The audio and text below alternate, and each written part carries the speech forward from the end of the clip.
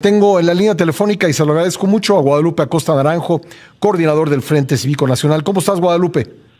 Muy bien, Pascal, un gusto saludarte. Bueno, pues, em, ¿qué, ¿qué, procede ahora que ha terminado el proceso electoral y que, pues, la, la coalición que llevó la candidatura de Xochitl Gálvez pues ha terminado de, existir. Yo sé que todavía faltan fases de impugnación al proceso, pero bueno, en los hechos también hay que un poco empezar a pensar qué viene hacia adelante y cuál, cuáles son los planes del Frente Cívico Nacional. Mira, el pasado sábado eh, tuvimos un encuentro nacional, eh, Pascal, donde asistieron representantes de los 32 estados de la República, delegados, alrededor de 1.600 personas. Eh, lo, lo, me permito aclarar eso porque parece que algunos pensaban que íbamos a hacer un mitin donde teníamos que tener eh, 50 mil personas. No, no era el objetivo de nuestro evento. Nuestro evento era una reunión de trabajo que duró, por cierto, nueve horas de trabajo, donde se hicieron tres mesas para analizar, uno, un balance de la elección, eh, qué fue lo que pasó, entender los resultados, tratar de comprender y que nos sirvan para una guía de acción hacia lo que sigue. Un segundo que es trabajar en lo inmediato en la defensa, en, evitar la sobrerepresentación que puede ser muy perniciosa para la democracia mexicana si se implanta como lo está queriendo el gobierno de la República, el presidente de la República muy en particular, porque pasarían de una representación en las urnas del 55% a tener el 75% de las curules, tres cuartas partes de la Cámara de Diputados con una votación de 20 puntos menor.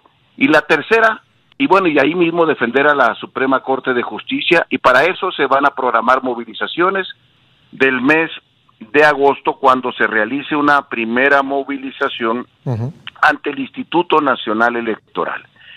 Si el INE eh, termina aplicando esta visión que se diseñó desde Palacio Nacional, y lo sabemos así porque el presidente y la secretaria alcalde han dado a conocer las cuentas que ellos hacen de cómo deben de asignarse estos 200 diputados, pues tendremos que ir al Tribunal Electoral durante la última semana del mes de, agosto, pero nos vamos a estar movilizando tanto al del Instituto Nacional y seguramente ante el tribunal, porque aunque, si el INE aplica bien el criterio constitucional, quien va a ir al tribunal va a ser Morena. Entonces, de todos modos, tendremos que caer al tribunal. Y en el mes de septiembre se anuncia, con lo que tú ya sabes, el asalto a la Corte, el tratar de que una mayoría electoral se quede ahora con el, la totalidad de los integrantes del Poder Judicial. O sea, nueve lenias batres en una planilla que va a proponer López Obrador. Oye, ¿sería antes o después de las fiestas patrias esta movilización? Tendría que ser yo, no, yo creo que debe ser antes del 10 de septiembre, ¿verdad? Para que podamos tener eh, el tiempo suficiente, porque es una reforma que pasa por las dos cámaras y luego por todos los congresos locales. No, y además ya sabes que preparan el zócalo para las fiestas patrias y pues ahí creo que no se puede hacer ninguna movilización. Sí. sí, claro, entonces sí, pero lo que sí hemos decidido es movilizarnos. Bueno. Vamos a coordinarnos con las demás organizaciones de Unidos particularmente, que son nuestras organizaciones hermanas, para tratar de que la movilización no sea solo de una organización, sino del conjunto de las fuerzas que nos hemos movilizado antes, Pascal. Bueno, pues eh, estaremos pendientes de todo ello. Eh, Guadalupe, te agradezco mucho. A ti, a ti un saludo a todo tu público.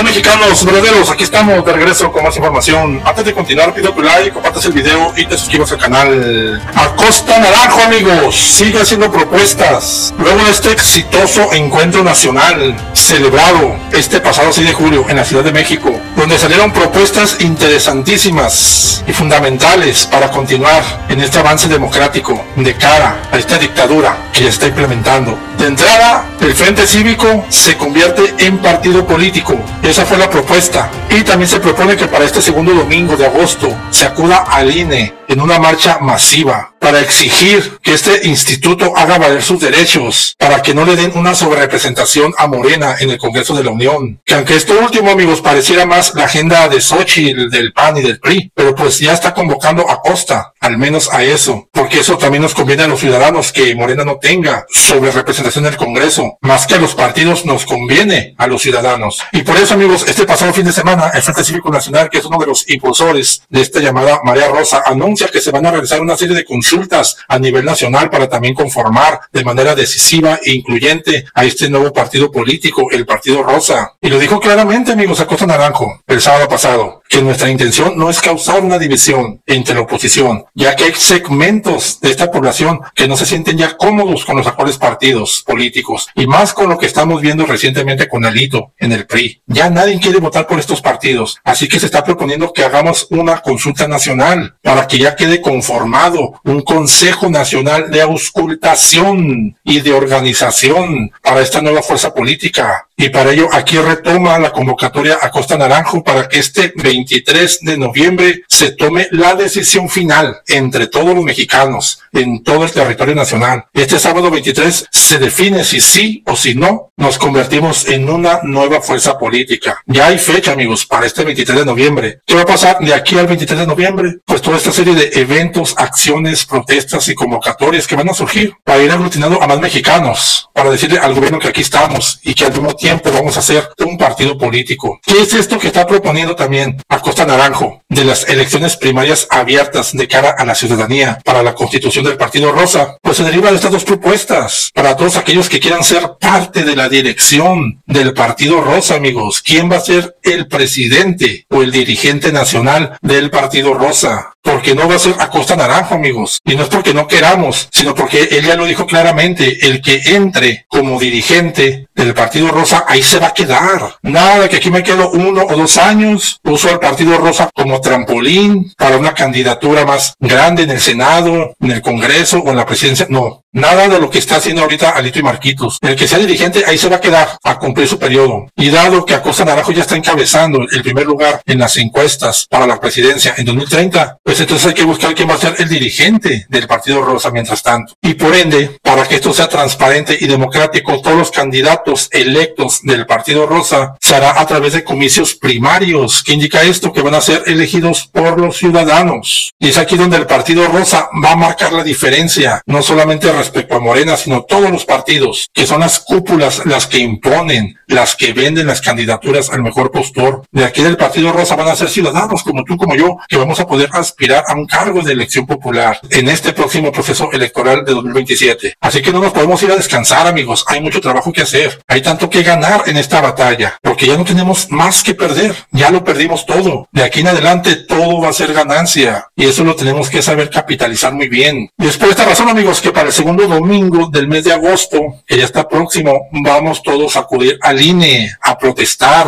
a exigir nuestros derechos y los derechos propios del INE, para que ésta haga valer la democracia, para que eviten esta sobrerepresentación de Morena en el Congreso de la Unión. Y ya posteriormente, en septiembre, vamos a realizar otra marcha, ahora para defender a la Suprema Corte de Justicia de la Nación, que yo quiero fortalecer esta segunda convocatoria de septiembre, que no sea nada más una marcha, sí una marcha inicial que termine en un plantón, que nos quedemos ahí a pernoctar por tiempo indefinido en torno a la Corte y de una vez Palacio Nacional. Si hacemos una gran convocatoria, téngalo por seguro que vamos a hacer un gran cerco ciudadano para que Norma Piña no esté sola ahora que ella está redactando su propia propuesta de reforma al Poder Judicial. Recuerden que va a haber dos reformas a discutirse en el Congreso, la de López y la de Norma Piña. Y todo esto tiene que tener un respaldo ciudadano y ya estamos amigos entonados con esta primera acción del Frente Cívico Nacional, que es la primera de las organizaciones que sale a hacer algo. Estamos esperando a nuestros amigos de sociedad civil, de Marea Rosa y demás colectivos para que se sumen a esta gran convocatoria. Porque ya lo estamos viendo, mexicanos verdaderos. El PRI y el PAN ya no son atractivos. De ahí radica la necesidad de convertirnos en un nuevo partido político. No es por gusto, no es una ambición vulgar al poder, es una necesidad, amigos, que tenemos. Y vean, amigos, vean, por eso es muy necesario poner el ejemplo. Aquí nosotros nosotros, mexicanos verdaderos, fuimos los primeros a raíz de la derrota del 2 de junio en poner el ejemplo, en no darnos por vencidos, en seguir luchando. Nosotros fuimos los primeros que marcamos la directriz de aquí en adelante. Luego vinieron los del Frente Cívico Nacional, muy bien, vinieron a sumarse y a seguir nuestros pasos. Y ahora amigos, vean esto, me acaba de llegar esta información, que siempre sí, la marea rosa, siempre sí, va a ser un partido político. Esto lo decidieron también en el Encuentro Nacional Ciudadano, que fueron unos poquitos representantes de la Marea Rosa. Pero este es un grupo, me informan, ya no dirigido por Claudio, lo cual aplaudimos. Es un grupo que se separó de la Marea Rosa porque están denunciando malos manejos y algo muy parecido que está haciendo Alito en el PRI por parte de Claudio, que también se quiere adueñar de la Marea Rosa. Y este grupo de ciudadanos ha roto con Claudio y se han traído al grueso de la Marea Rosa para ser parte de este partido político, el Partido Rosa, junto con el Frente Cívico. Obviamente, este grupo disidente de la Marea Rosa va a ser encabezado ahora por Acosta Naranjo,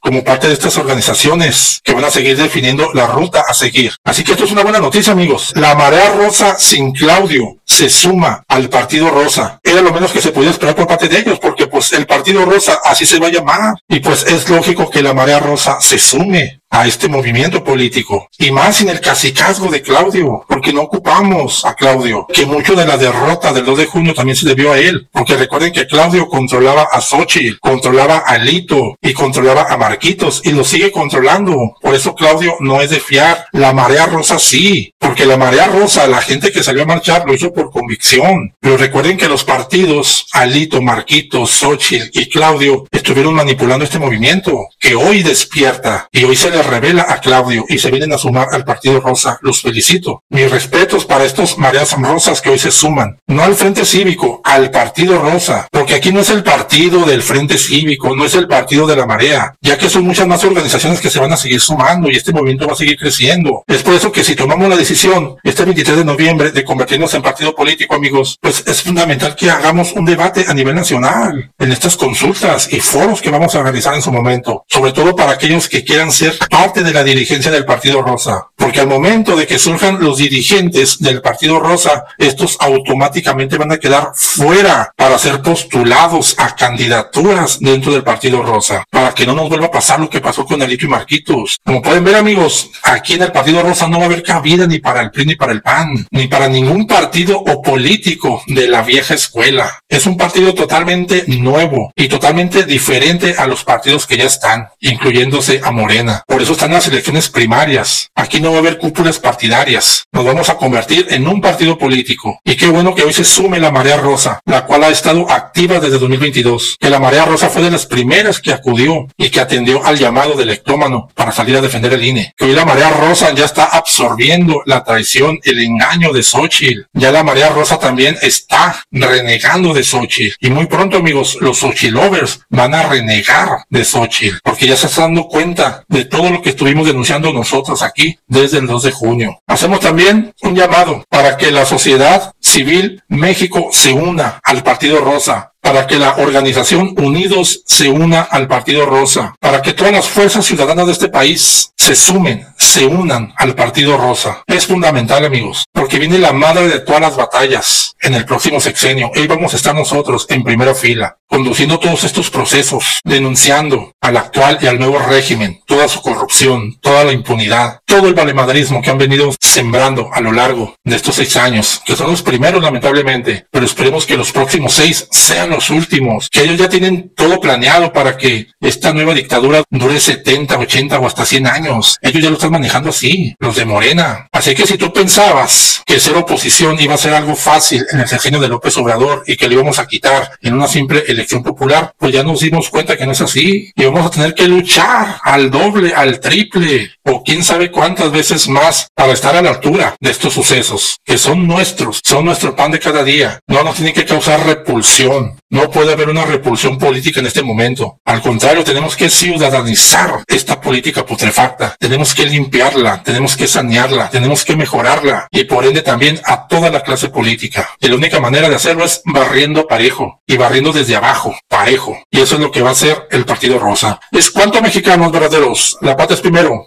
Pronto.